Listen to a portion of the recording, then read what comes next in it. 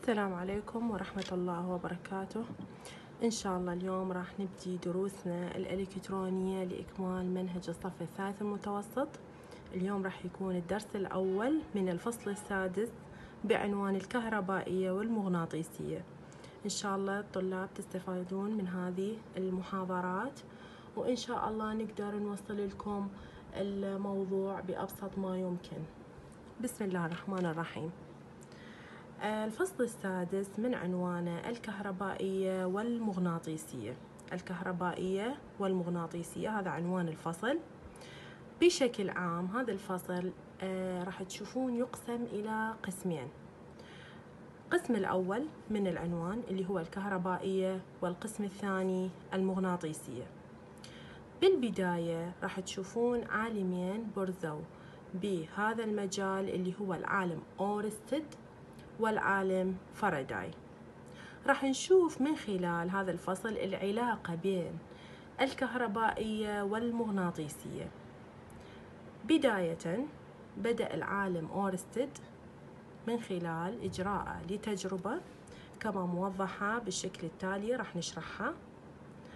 التجربة إنه هو قام بتجربة علمية والتجربة هذه أراد من خلالها إنه يشوف شلون ممكن يولد مجال آه، مغناطيسي من خلال مرور تيار كهربائي. فبالبداية راح أشرح لك التجربة من ثم أرجع لك على الأشياء اللي لاحظها العالم أورستد في تجربته ومن ثم توصل إلى الاكتشاف بعد التجربة. التجربة سؤال هنا مثل ما واضح يقول اشرح بتجربة كيف يتم توليد مجال مغناطيسي لتيار كهربائي. الأدوات أبرة مغناطيسية تستند على حامل مدبب سلك غليظ طوله 30 سنتيمتر بطارية فولتيتها واحد ونص فولت أسلاك توصيل ومفتاح كهربائي لغلق وفتح الدائرة الكهربائية. هنا أبرة الأبرة المغناطيسية يقصد بها البوصلة. هسه نبدأ بالخطوات.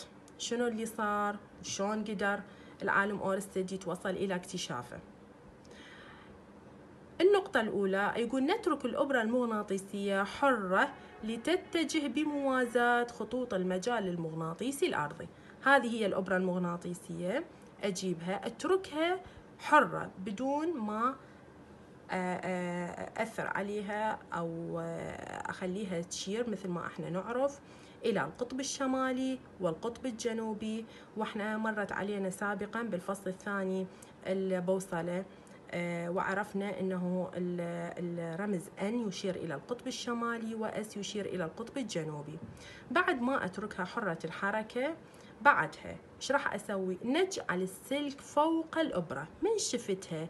ثبتت بهذا الاتجاه بحيث أشرت لي إلى القطب الشمالي والقطب الجنوبي.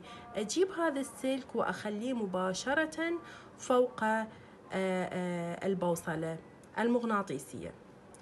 نجعل السلك فوق الأبرة بحيث يكون موازي لاتجاه محورها. مثل ما تشوف هذه هي أبرة البوصلة وهذا هو السلك يكون موازي لأبرة البوصلة. نغلق الدائرة الكهربائية. من خلال أكيد المفتاح الكهربائي لفترة من الزمن نلاحظ انحراف الأبرة المغناطيسية.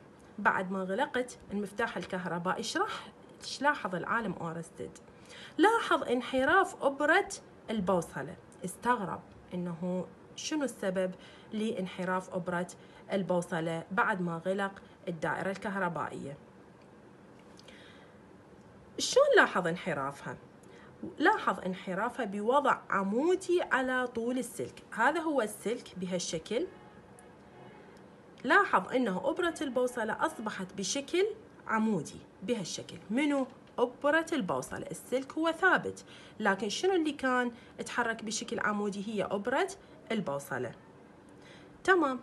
ومن ثم لاحظ عودتها إلى موضعها الأصلي بعد انقطاع التيار الكهربائي. قطع الدائرة الكهربائية لاحظ أنه البوصلة إبرة البوصلة ترجع بشكل موازي للسلك الكهربائي. فشنو سوى الخطوة اللي بعدها؟ عكس اتجاه التيار. شلون أني أقدر أعكس اتجاه التيار؟ من خلال عكس قطبية البطارية. إحنا ماخذين بالفصل الثالث عرفنا انه اتجاه التيار الكهربائي يكون من القطب الموجب هذا اتجاه السهم بهالشكل من القطب الموجب للبطارية باتجاه القطب السالب. الخطوة الرابعة من التجربة عكس اتجاه التيار وذلك بعكس قطبية النضيدة ومن ثم غلق الدائرة لبرهة من الزمن فلاحظ انحراف أبرة البوصلة باتجاه معاكس لاتجاه الحالة الأولى. الخطوة هذه الرابعة شنو سوى؟ عكس لي أقطاب البطارية ومن ثم غلق الدائرة الكهربائية مر عندي تيار كهربائي لكن هالمرة بعد ما عكسه أصبح القطب الموجب للبطارية بهذا الاتجاه والقطب السالب فأكيد راح يكون بهالشكل. اتجاه التيار الكهربائي ومن ثم أكمل إلى القطب السالب. فلاحظ انحراف إبرة البوصلة باتجاه عمودي لكن معاكس. فالخطوة الخامسة يقول نكرر الخطوات أعلى ماذا نستنتج. خلينا نشوف شنو استنتجنا من التجربة شنو الشيء اللي استنتجه العالم أورستيد ومن ثم أدى إلى اكتشافه لهذه النظرية اللي أثبتها فيما بعد. يقول عند مرور تيار كهربائي في سلك موصل يولد مجال مغناطيسي حوله فيؤثر على الأبرة فيحرفها عن اتجاهها. يعني العالم أورست توصل إلى اكتشاف إلى أنه عندما يمر عندك تيار كهربائي في سلك أي سلك كهربائي يمر بتيار كهربائي إيش راح يولد حوله راح يولد حوله مجال مغناطيسي. شلون اكتشفه؟ اكتشفه عن طريق هذه الإبرة المغناطيسية البوصلة. فهذا هو ملخص تجربة أورستد أو اكتشاف أورستد هسه راح أرجع لك على الأسئلة اللي مذكورة سابقا. يقول لك ما الذي لاحظه العالم أورستد في تجربته؟ شنو الشيء اللي لاحظ العالم أورستد في تجربته اللي شرحناها؟ يقول انحراف إبرة مغناطيسية. موضوعة بجوار سلك هذه هي الإبرة المغناطيسية. عند انسياب تيار كهربائي فيه.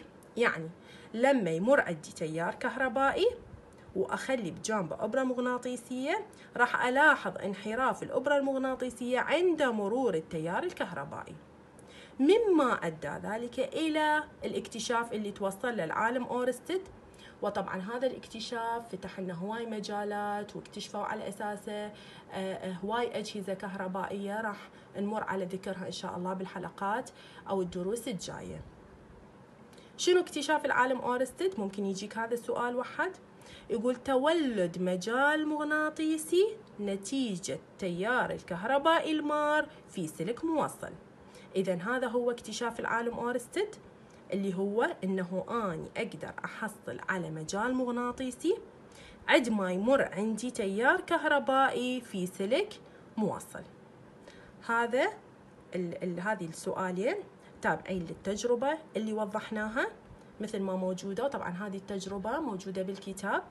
لكن للتوضيح أكثر أنا خليت لك رسوم الكتاب نفسها ويا هذا الملخص حتى يكون عندك الصورة أوضح من الرسم. أجي هسه أشوف الأسئلة اللي بعدها. السؤال اللي بعدها يقول ما سبب عودة الأبرة المغناطيسية إلى موضعها بعد انقطاع التيار؟ شنو السبب إنه الأبرة المغناطيسية رجعت إلى موضعها بعد انقطاع التيار؟ الكهربائي. السبب الجواب ذاكرته لك أني. الجواب بسبب غياب المجال المغناطيسي نتيجة لانقطاع التيار الكهربائي. يعني شنو السبب؟ إنه الأبرة المغناطيسية رجعت لموضعها ما عندي مجال مغناطيسي. ليش ما عندي مجال مغناطيسي؟ لأن آني قطعت التيار الكهربائي عنها. هذا السؤال كذلك يخص التجربة اللي سبق وذكرناها السؤال اللي بعده يقول ما سبب انعكاس اتجاه الأبرة المغناطيسية في الحالة الثانية؟ شنو السبب؟ شو وقت انعكست؟